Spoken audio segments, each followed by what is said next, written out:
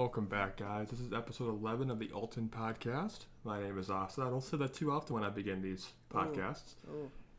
And just want to again remind you guys that all streaming platforms you can hear us on. So that is, I'm just naming the top four here Yeah. Anchor, Spotify, Google Podcasts, and Apple Podcasts. Oh yeah. And if you We're guys on Go forget that list, you guys can head over to altonpodcast.com and we got you guys covered. And I keep forgetting about our website. Please hit that website up. Go to our YouTube, like, subscribe, Yes. give us some comments. We really want those comments. Yeah, join the conversation. Be a part of the innovative innovative hub, like we like to call it, On Discord, on Discord. which is also on our Instagram, I believe. Am I correct? We don't have an Instagram. We need an Instagram. Didn't we talk about this once before? You know we did.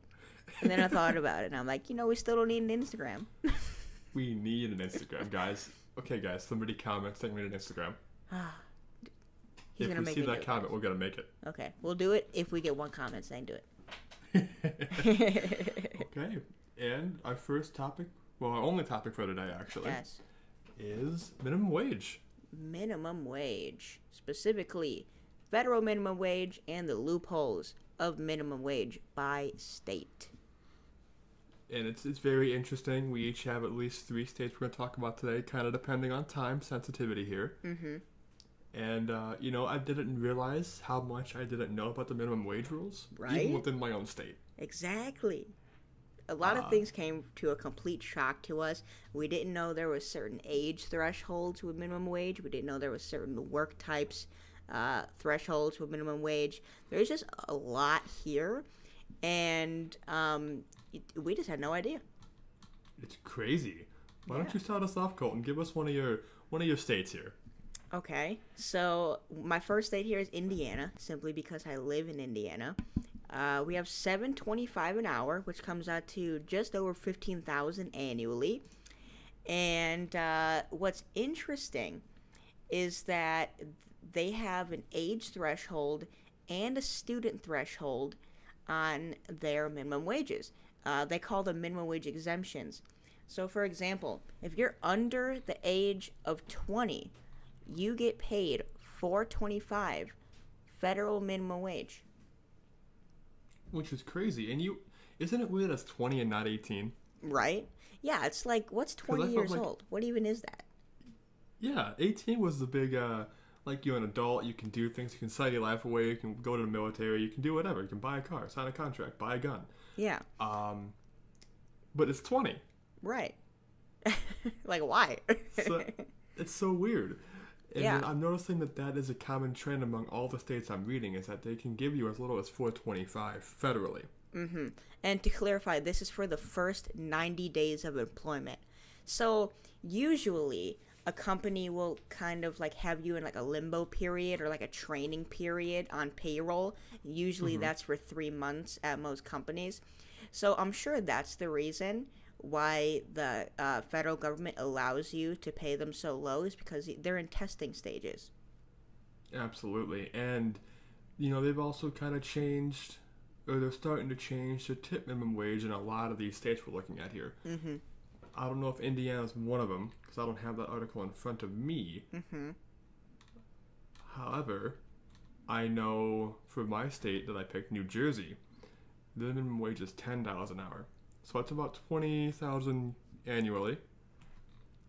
And they have the same exact exemptions as what Colton was saying. Um, student minimum is 85% of the minimum wage, yeah. Same with Indiana. about 850 per hour here in New Jersey. Mm. And then 425 is the lowest they can pay you for only 90 day increments. Right. Uh, it looks like the tip minimum wage here is 263 Wow. and small businesses fewer than 6 and agriculture workers is 885. Mm-hmm. So there's like special categories that you can fit into Right. that they can make you not get the minimum wage. Isn't Right. that crazy? Yeah. And it's it's the main reason why we called this podcast the loopholes of minimum wage because there is so much here and things can get so technical even by a calendar basis and age basis and if you're a student and if you get tips like there's so many factors that go into these exemptions And it's just so strange. Um, it's just one of those things where you ha- you don't really realize what the rules are until you read about them, right. Which is something I should have known when I was like 18 because I'm lucky I never got paid for it 25. right. Um, though I probably would have walked away if somebody gave me that. true. The the other interesting thing, looking at Wyoming, uh, their state minimum wage is seven twenty five. and That's again the federal minimum wage. Apparently, states can have their own minimum wage, which in Wyoming is five fifteen.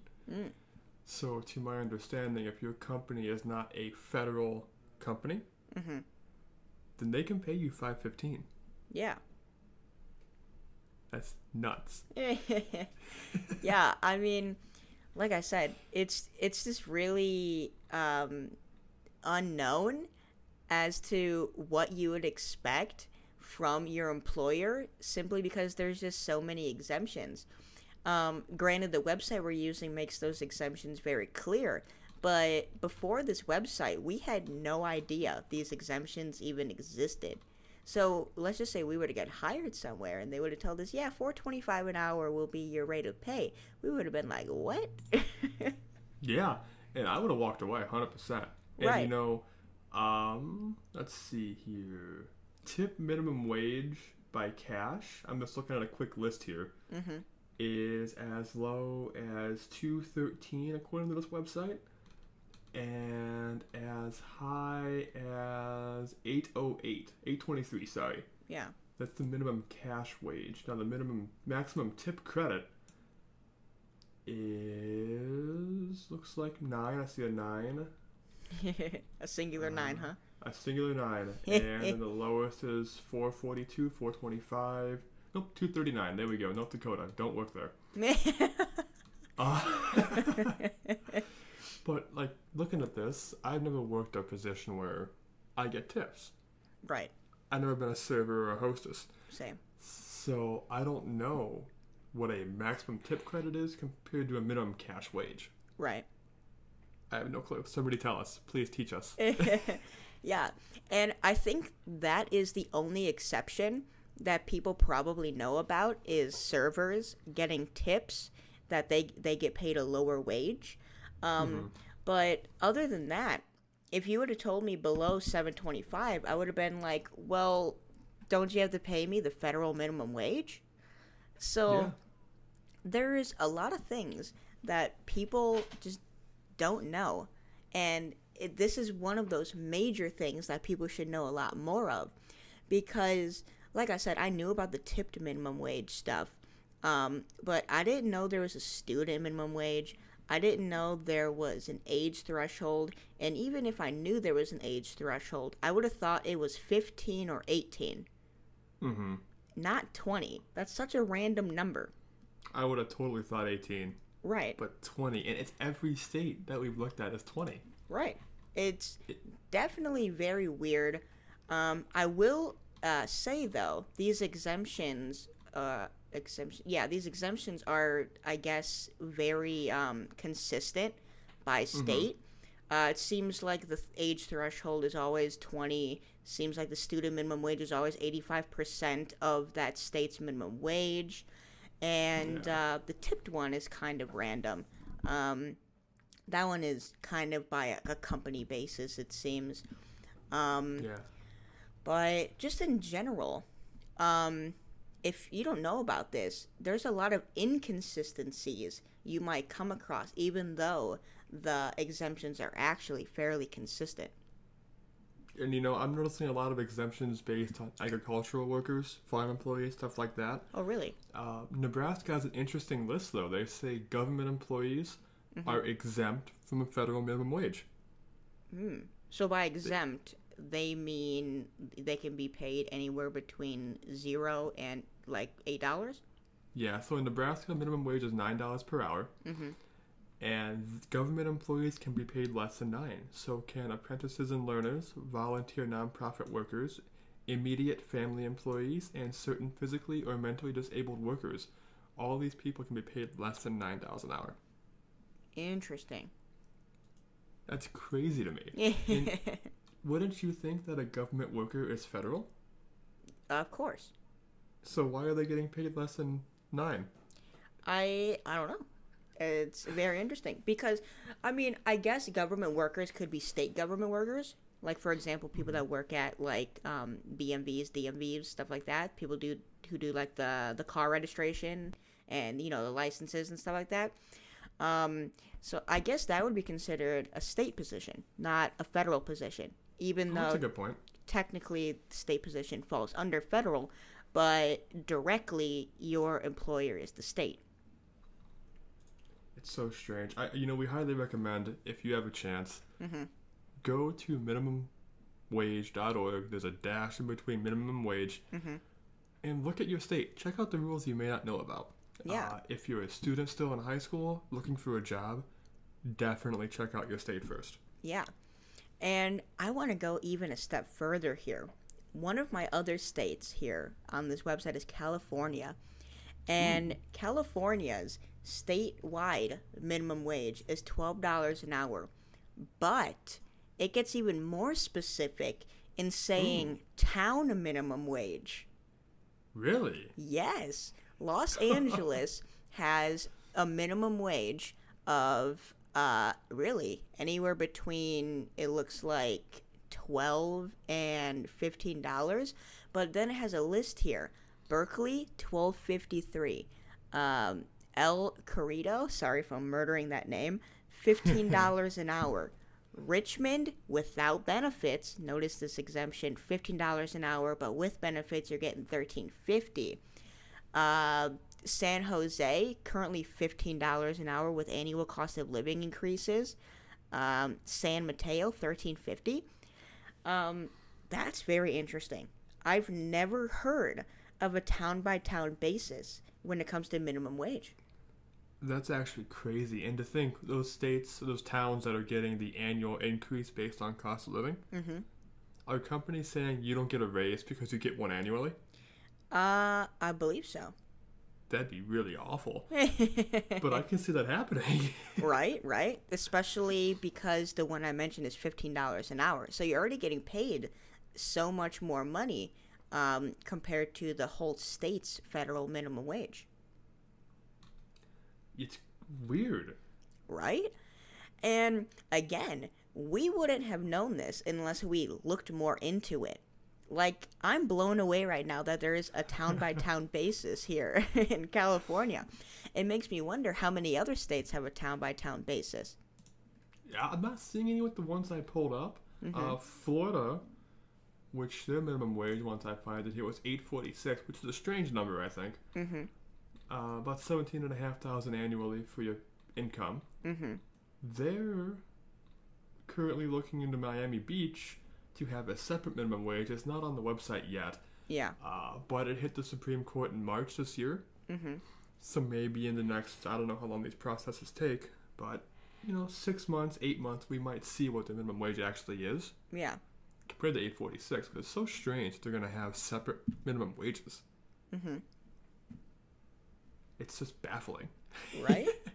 um, and it really makes you wonder um, how these exemptions uh, come about. It's like, uh, who sets this? The state? Yeah. Yeah. I mean, I guess the, the state has a tr- well. I guess some employers are incorporated federally, and then they have to get the federal minimum wage. mm-hmm. But I think the state can define their own minimum wage, which they can Right. then hand out to employees that aren't tied by those strings. Right. And then I wonder how the town by town basis ones, I wonder if they have to get confirmation from the state. And then maybe I wonder even if the state has to get confirmation from the federal government. That would just be a confusing mess to me. Because think about it. What if you work on like the outskirts of a town, Uh huh. and the borders just change, Yeah. And you were making 15, but now your border makes 12? Right. That's huge. Yeah. I wonder. yeah. Like I said, Um, I guess that would be considered one of the inconsistencies uh, with the federal minimum wage, or sorry, not federal, state minimum wage. Technically, town by town minimum wage. See, we're getting very specific here now. It's getting confusing, to be honest. right and that that's the very interesting part is we're talking about this with so much more knowledge than probably the average person and we're getting confused about it which means um, the people that don't know and then they realize it once they maybe start getting a job how confused are they going to be the second their employer says oh uh, you make $8 an hour even though the next town over makes $12 an hour how how Yeah. would that make um, a future employee feel? It'd probably make it feel like they're gonna go to the next town to work. Right, right. It's like, why would I work at McDonald's here when there's a McDonald's in every town? I'll just drive an extra two minutes. Exactly, and Right. it's just crazy because you know Indiana has this rule too Mm-hmm. with the 425, yeah, and everybody I know here in the state, no one ever that I know of has been paid 425. right, Is this even enacted? Is it actually happening in places? I have no idea. right. I mean, I'm sure it is somewhere. Um, but, you know, like you said, if it is, it's not really, um, I don't know if mainstream is the right word, but uh, like you said, you've never heard of anyone stating it, which means it's probably not happening nearly as much as um, the uh, articles make it seem. Um, Yeah. Because, you know, four, you said 425? Yeah, 425. Yeah, 425 an hour is literally nothing. Even at 40 hours a week. We're talking pre-tax uh what? Uh I can't math. Uh $160 roughly a week. that sounds about right. Yeah. Yeah, that's that's nothing. No, that you you couldn't live off that. There's nothing you couldn't. Hell, you can barely afford Spotify Premium off that Ooh, amount of now, money. now that's a problem. Man, um, dude, I remember the days when Spotify Premium was half off when I was in college. It was like the greatest thing ever. And then the second it became full price for me, I was like, wow, ten dollars a month's expensive.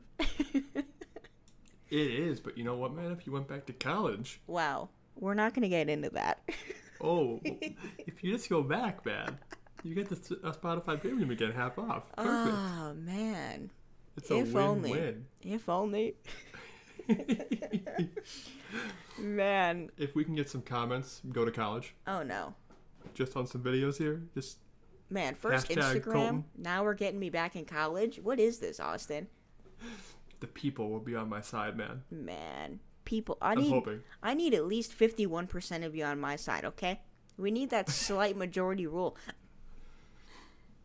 We're gonna do a vote. Ooh, a vote, straw poll. We're not. Nope. Straw poll. Yep. Game. Let's do it. Or we um, can do a poll Okay. on our Twitter, twitter.com slash Podcast. I like that idea better. Much easier to do. Ooh, well, you know. Oh man. Okay. Well, I think that's all we got for this topic. What do you think, Colton? I believe so. I think I'm at a pretty good stopping point. How about yourself? I, I would say so. So, so yeah, that makes sense. Yes. Wow. Wow. We've been talking for like an hour and a half Come now, on, guys. Please forgive us. Um, Again, we thank everyone so much for watching and listening on all the streaming platforms. We see you guys, we see the views, we appreciate every single one of you. Uh, again, we are on Apple Podcasts, Google Podcasts, Spotify, every major streaming platform. And if you forgot all those, you can head over to altonpodcast.com and listen via your favorite streaming platform. And uh, with that, that is the loopholes of minimum wage. And we'll see you guys next time. See you guys.